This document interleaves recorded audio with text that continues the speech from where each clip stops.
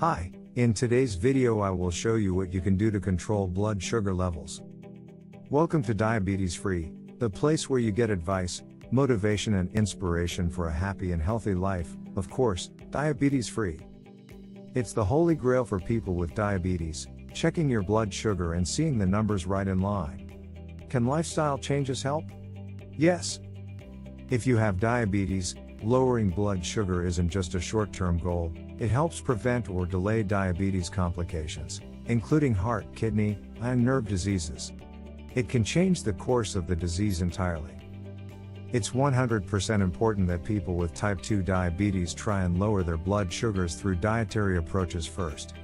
For some people, it not only can be preventive, but it can also help with reversal of the actual disease. Making a few key lifestyle changes can sometimes eliminate the need for medication.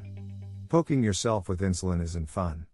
Diabetes is a progressive disease, and you really have to figure out how to take control. In this video I will show you 5 tips on how to control blood sugar levels more effectively. But before that, if you want to see more videos about how to reverse type 2 diabetes, please subscribe to the channel, like the video and tick the notification bell. I also have in the description my free PDF with 7 tips to make your life instantly better as a diabetic. Here are 5 tips to control your blood sugar levels and even reverse diabetes. 1. Avoid eating large meals. One way to keep carbs under control is by eating in moderation. I always recommend to people with diabetes to spread their food out over the day. Don't eat small meals to save up for a big dinner. Feeding your body throughout the day helps regulate your blood sugar levels and prevents highs and lows. I recommend to keep an eye on carbs, even while snacking. 2. Fill up on fiber. Fiber is another nutrient you'll want to keep an eye on for blood sugar management, but in this case, the more the better. It can help stabilize your blood sugars. It also plays a role in weight management and can lower your risk of cardiovascular disease. Fiber plays a preventative role too.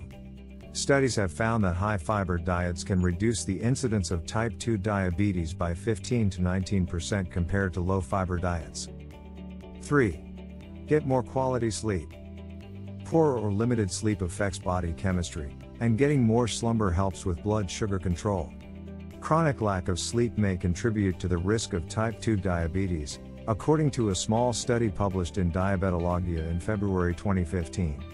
Healthy volunteers who slept only 4 hours for 3 nights in a row had higher levels of fatty acids in their blood, which reduced insulin's ability to regulate blood sugar by about 23% the researchers found.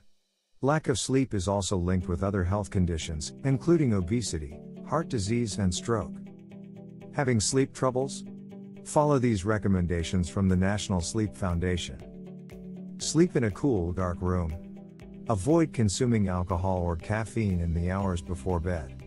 Go to bed and wake up at the same time each day, even on the weekends. Don't look at screens for at least a half hour before bedtime, including TV, tablets, cell phones, and computers.